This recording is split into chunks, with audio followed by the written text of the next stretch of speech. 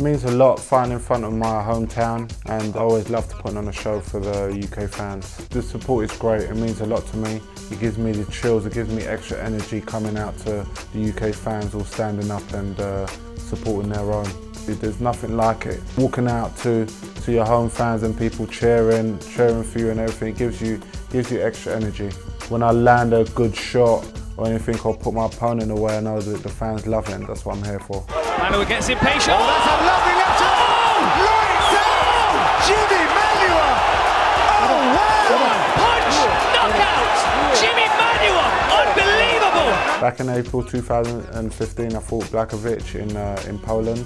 It's my only decision in my whole entire career. I remember being frustrated in the fight because he's an awkward fighter and everything and I, I was uh, mad I didn't get the finish. The rematch came because there was no one else to fight really, to, to put it bluntly. I was expecting at least someone in the top eight and that's I, I called for Glover Teixeira who's, who's ranked number three and he turned me down. I called for Shogun, Shogun wasn't available. I called for anyone in the top 10 and no one wanted to fight. So Blachowicz was man enough to step up to the plate and uh, here we are with the rematch. He's walking and stepping on his heels. Oh, he's hurt! Again, Manuwa. Look That's at it. that finish. Hit it! Oh,